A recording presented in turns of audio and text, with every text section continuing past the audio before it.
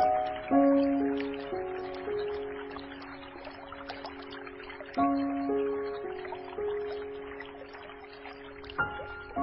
ធីបុណ្យកឋិននឹងគឺជាបុណ្យមួយយ៉ាងសំខាន់ដូចជាកាលអាត្មានៅក្មេងៗអញ្ចឹងឲ្យតែ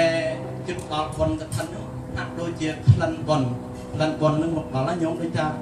ជិតដល់រដូវបុណ្យដូចជាបុណ្យចូលឆ្នាំ បុណ្យសែនបុណ្យតាឬក៏បុណ្យកឋិននឹងដូចជាមានអារម្មណ៍ថាពិធីបុណ្យនឹងជិតមកដល់គឺយើងមានអារម្មណ៍ប៉ុន្តែដោយសារតែធាក់ដល់ចេញមកក្រៅប្រទេសទៅដូចជា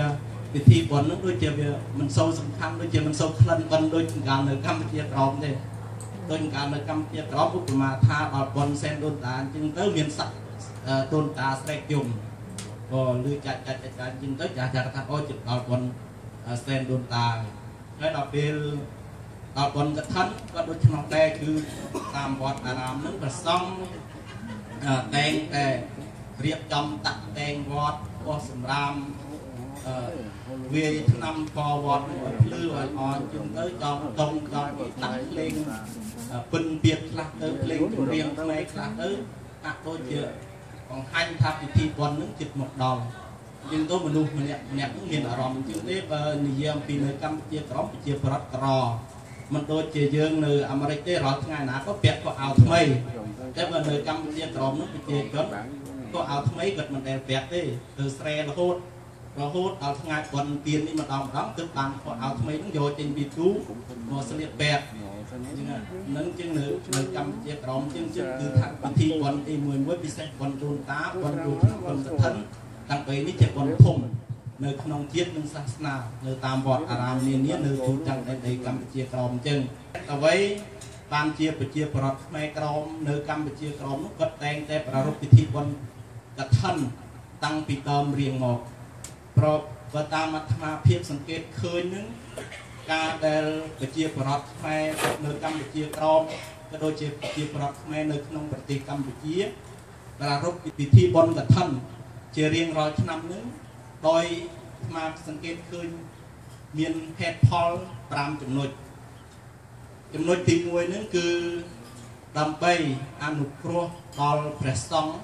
ដែលលោកកងចាំភាសាអស់រយៈពេល3ខែនៅក្នុងវត្តអារាមនីមួយនីមួយហ្នឹងឲ្យលោកមានសម្ពត់ត្រៃជីវរគ្រប់គ្រាន់សម្រាប់ប្រើប្រាស់និងដើម្បីជាបច្ច័យឬក៏បានជាប្រាក់នឹងសម្រាប់ឧបត្ថម្ភដល់ប្រសង់នឹង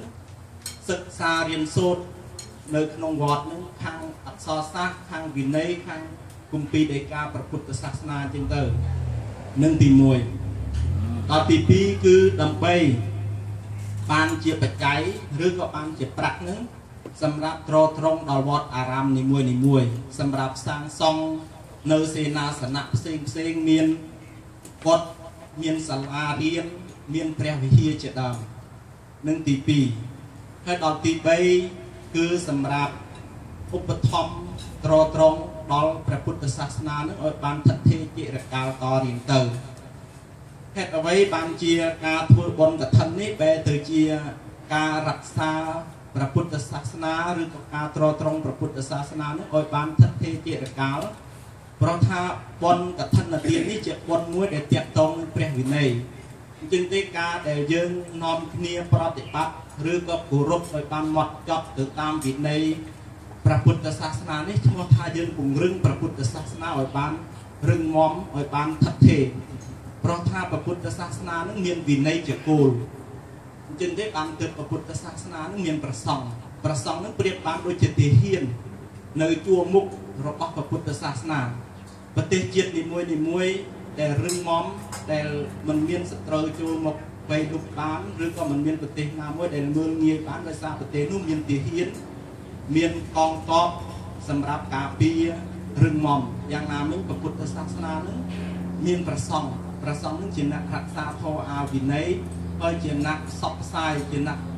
បញ្យលពុទ្ធបរិស័ទបញ្យលមនុស្សលោកឲ្យយល់អំពីខ្លឹមសារព្រះពុទ្ធសាសនា និយាយរួមគឺបញ្យលឲ្យដឹងអំពីធម៌ទាំង84000ប្រធមខណ្ឌដែលព្រះសម្មាសម្ពុទ្ធទ្រង់សម្ដែងដល់ទី4ហ្នឹងគឺដើម្បីរក្សាទំនៀមទម្លាប់ប្រពៃណីជាតិខ្មែរនឹងឲ្យបានគង់វង្សសម្រាប់ប្រជាប្រដ្ឋខ្មែរដែលរស់នៅកម្ពុជាក្រោមវិញគអឺធំឡើងគឺมันមានស្លាសម្រាប់រៀនភាសាខ្មែររបស់ខ្លួនទេអញ្ចឹងមានទីវត្តអារាម មានវត្តអារាមនឹងគឺការធ្វើបុណ្យកឋិននេះជាពិធីបុណ្យមួយសម្រាប់ត្រត្រង់ដល់វត្តអារាមដល់ការសាងសង់ពង្រឹងវត្តអារាមនោះឲ្យបានរឹងមាំសម្រាប់ជាឃ្លាំងសម្រាប់បន្ទុកនៅវប្បធម៌មានការសិក្សារៀនសូត្រអក្សរសាស្ត្រជាដើមហើយការធ្វើបុណ្យកឋិននេះទៀតក៏ជាពិធីមួយសម្រាប់បង្ហាញឲ្យជនជាតិដទៃឃើញអំពីវប្បធម៌ខ្មែរដូចជាយើងធ្វើបុណ្យកឋិនជាងទៅមានមិចមានអបឆយាមមាន តាតាឬក៏យាយយាយនឹងទឹកចង់បិណ្ឌស្លៀកពាក់របៀបប្រពៃណីខ្មែរជាងទៅប្រសង់សូត្រខោខ្មែរស្រែកអនុមោទនាសាធុទីនៅក្នុងវត្តជាភាសាខ្មែរជាងទៅមានន័យថាយើងនឹងពង្រឹងឬក៏យើងរក្សាបន្តការរក្សាប្រពៃណីទំនៀមទម្លាប់ខ្មែរនោះឲ្យបានកងវងកុំឲ្យកាឡៃឬក៏កុំឲ្យប្រែទៅជាជនជាតិផ្សេងមួយទៀត ជាពិសេសបើសិនបើយើងមិនខំព្យាយាមរក្សានិយាយភាសាខ្មែរប្រសងសុខធម៌ខ្មែរនៅក្នុងវត្តប្រសងសរសេរអក្សរខ្មែរនៅក្នុងវត្តទេភាសាទាំងអស់នោះនិយាយរួមគឺខ្លាចទៅជាភាសាយួនឬក៏វប្បធម៌យួនក៏នឹងចំណុចសំខាន់កន្លែងហ្នឹងដូចជាយើងនៅអាមេរិកអញ្ចឹងកូនចៅយើងនៅអាមេរិកនេះកាលណាធំឡើងទៅឲ្យនិយាយភាសាខ្មែរមិនចង់និយាយទេទៅរៀនអង់គ្លេសរៀនអីយើងចេញមកនិយាយទេភាសាអង់គ្លេសគឺជំនាញតែភាសាខ្មែរនោះចេះ តិចតួចទេព្រោះអញ្ចឹងទៅបានជាប្រជាប្រដ្ឋខ្មែរយើងនៅសហរដ្ឋអាមេរិកនៅប្រទេសនានានោះអត់កសាងវត្តអារាម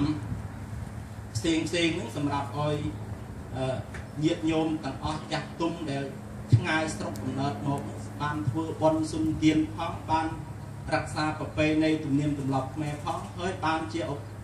កាសមួយសម្រាប់បញ្យលឲ្យកូនចៅចំនួនក្រោយដែលកើតនៅទឹកដីសហរដ្ឋអាមេរិកនេះបានដឹងអំពី តម្លៃរបស់ព្រះពុទ្ធសាសនានិងជាតិខ្មែររបស់ខ្លួនប៉ុននឹងគោលដៅទី4ដែលប្រជាប្រដ្ឋខ្មែរធ្វើបុណ្យកឋិននឹងហើយដល់ទី5គឺញាតិញោមទាំងអស់ដែលមានក្នុងឱកាសនេះដែលមានវត្តមាននៅក្នុងឱកាសនេះដែលបានចូលរួមពិធីបុណ្យកឋិនទាននឹងសឹងសឹងតែជាណាត់មកធ្វើបុណ្យគឺគោលដៅទី5នោះគឺញាតិញោមចាំបានបុណ្យផលខ្លួនហើយសម្រាប់ធ្វើបុណ្យនោះគឺការបរិការទ្រព្យសម្បត្តិ មានការបូជាត្រៃជីវរឬក៏បច្ច័យផ្សេងផ្សេងទៅវត្តអារាមទៅប្រសង់ទៅគឺជាទ្រព្យមួយដែលដែលព្រះសម្មាសម្ពុទ្ធព្រះអង្គចាត់ទុកថាជាអរិយទ្រព្យសម្រាប់កប់ទុកនៅក្នុងពុទ្ធសាសនាឬក៏សម្រាប់ធ្វើជាគ្រឿងអលង្ការសម្រាប់ញាតិញាតិញោមពាក់ធ្វើដំណើរទៅបរលោកនេះគ្រឿងអលង្ការដែលញាតិញោមពាក់សពថ្ងៃនេះមានក្រវិលមានចិញ្ចៀនមាននាឡិកាមានពេជ្រដែលយើងពាក់កប់ខ្លួននេះ ពេលដែលយើងស្លាប់ទៅគឺมันអាចយកទៅបានទេមានតែប៉ុនអញ្ចឹងទេញាតិញោមទាំងអស់គ្នាដល់យល់ឃើញថាប៉ុននឹងហើយដែលជាគ្រឿងអលង្ការឬក៏ជាស្ពានឬក៏ជាប្រដាប់ការពារសម្រាប់ខ្លួននឹងស្លាប់ទៅទៅរបស់ដែលយើងបានធ្វើប៉ុនកប់ទុកនៅក្នុងជាតិនៅក្នុងពេលបច្ចុប្បន្នទៅជាមួយយើងក៏នឹងហើយគឺជាទិសដៅសំខាន់សំខាន់ទាំង5ដែលប្រជាប្រដ្ឋខ្មែរយើងតែងតែប្រារព្ធបុណ្យកឋិន និទានឯង